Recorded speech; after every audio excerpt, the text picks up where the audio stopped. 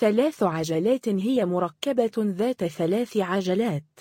بعضها عبارة عن دراجات ثلاثية العجلات والتي يمكن تصنيفها قانونيا على أنها دراجات نارية في حين أن البعض الآخر عبارة عن دراجات ثلاثية العجلات بدون محرك وبعضها عبارة عن مركبات تعمل بالطاقة البشرية ومركبات تعمل بالحيوانات. Three-wheeler is a vehicle with three wheels.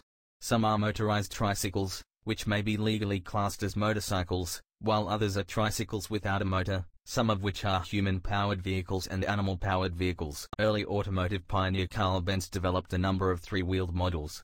One of these, the Benz patent Motorwagen, is regarded as the first purpose-built automobile. It was made in 1885. طور كارل بنز رائد السيارات الأوائل عددا من الطرز ذات الثلاث عجلات. واحدة من هؤلاء بنز براءات الاختراع موتور فاجين تعتبر أول سيارة بنيت لهذا الغرض. تم صنعه في عام 1885